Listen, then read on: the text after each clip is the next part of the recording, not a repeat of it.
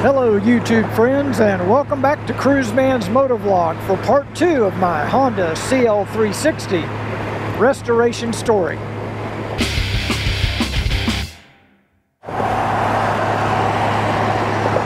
I wish I could tell you that my CL360, my 1975 CL360 was still sitting comfortably in my garage. Unfortunately, I can't tell you that. So now let's, as Paul Harvey would say, get the rest of the story. Well, after I completed the restoration on this 360, I really, really enjoyed it. I would ride it, occasionally I would ride it for coffee in the morning. I would, uh, I actually rode it in a vintage uh, motorcycle ride that one of the local uh, restoration guys puts on here and took it out and we rode all through the local countryside which was kind of fun uh, the bike just ran great. It was reliable. It always started. It always ran good. It got decent mileage. You know it just you know it was just a beautiful bike. Everybody that saw it commented on it. But at this time I had a 2010 Kawasaki Versys I had my Goldwing and I had my uh, Trail 70. So I was, I had four motorcycles. And it was just too much. I just really couldn't justify keeping all these bikes. And I was really afraid that something was going to happen to this 360. Maybe I'd drop it or who knows what could happen. And I remember what a hard time I had finding parts for it, and I was just afraid that something was going to go wrong or something was going to break, and it would cost me a lot of money to fix it, plus a lot of time. And so I made the executive decision to try to sell it. And I did that, or attempted to do that on eBay. I listed the bike now you got to remember, I had put stupid money into this bike. So I listed the bike on eBay and I found a buyer, a gentleman that lived in Florida and he contacted me by email and I think I even talked to him on the phone. So what he wanted to do was to send his, as he referred to his driver, from Florida to pick up the bike and bring the cash. And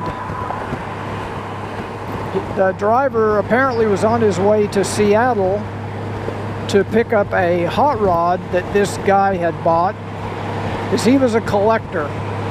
And he collected vintage cars and hot rods and so a few days later this guy shows up in a van and real nice guy and turns to turns out he's kind of like the guy's chauffeur drives his motor home drives his cars drives them around.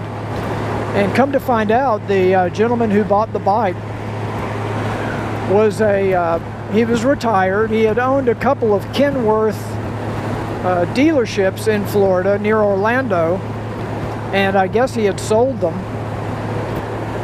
and was now retired and apparently was building a cafe and this cafe was going to be a motorcycle themed cafe and he wanted my bike to put on display in this cafe.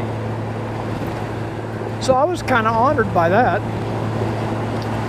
And we loaded up the bike and he went on his way he paid me and he went on his way.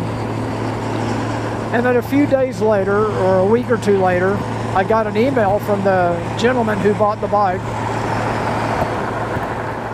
And he told me how beautiful it was and he had it on display in the foyer of his home. He had actually pulled the bike inside and sent me a picture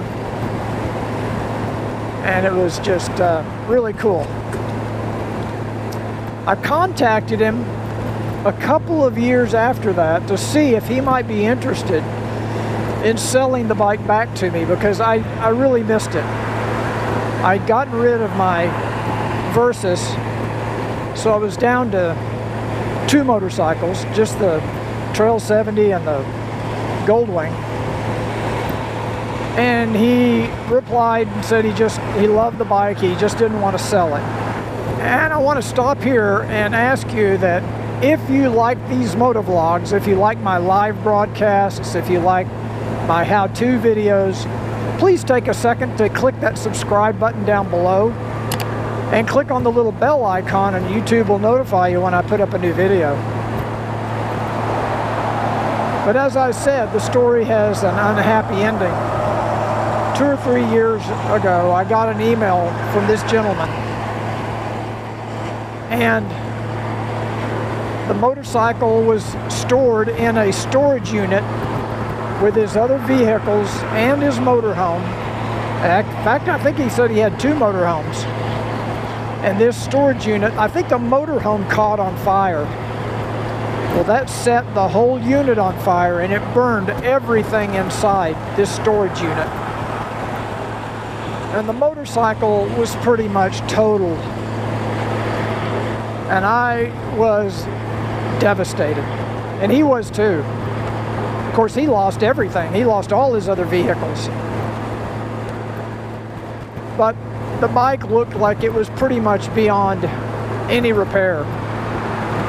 I offered to have him send me the bike and that I would try to restore it even though I don't think I'd ever be able to find the parts that I had on that bike again.